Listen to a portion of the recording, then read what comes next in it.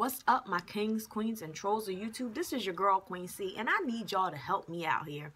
I need you to help me understand what the fuck is wrong with people. I'm driving down the road, um, you know, on my way, making my commute, and I see this accident where this girl rams right into the back of this truck. The whole face of her car is smushed in. And she's sitting there freaking out.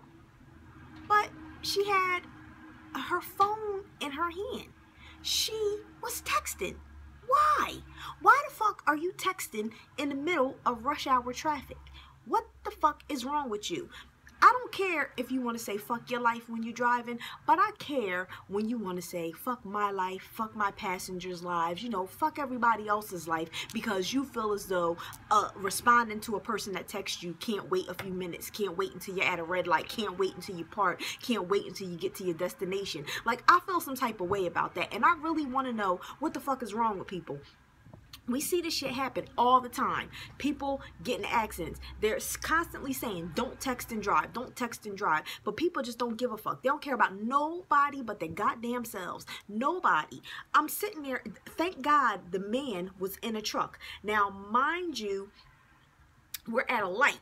So basically, I guess she didn't realize that the light turned and she smacked the truck so hard she pushed the truck out. But thank God it was a big truck and she didn't push it out. But so far, so he, it wasn't like he was in, you know, the middle of, you know, the crossover traffic.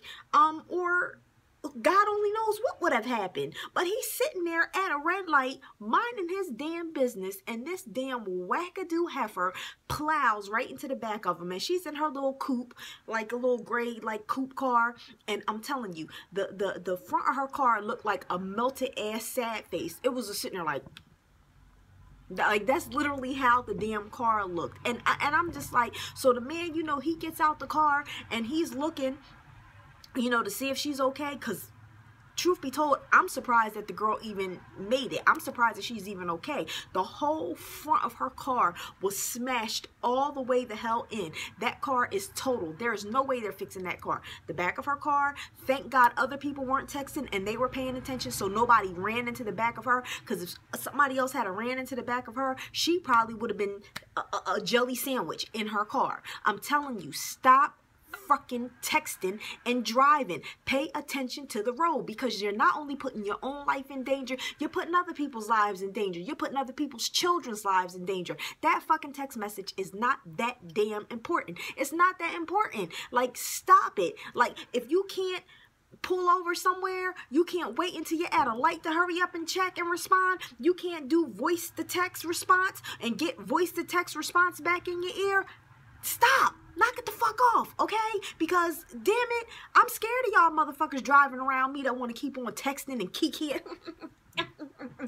and then you look and it's too late and you done rammed into the back of some damn body else. I had a woman do that to me and my car was parked. I was dropping my child off at school. My daughter's getting out of her um car seat and I'm getting ready. I got literally one damn foot out the damn door of my car and the truck backs into my car because she's on the phone, not looking and not paying attention to who's behind her and she like crushes the bumper of my car. And I'm parked getting out the car, door everything. This bitch not paying attention. I'm telling y'all, stop putting other people's lives in, je in jeopardy. I, I'm like, this all could have been avoided all could have been avoided. And I know that girl is sitting there feeling stupid as hell because you hear people tell you stop texting and driving. And then when you think, oh, it'll never happen to me, it happens to you. Knock it the fuck off.